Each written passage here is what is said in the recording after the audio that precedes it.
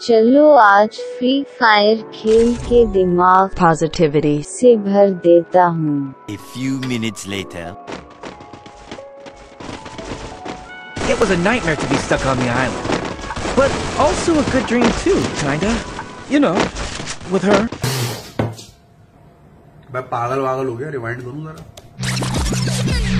You know, with her.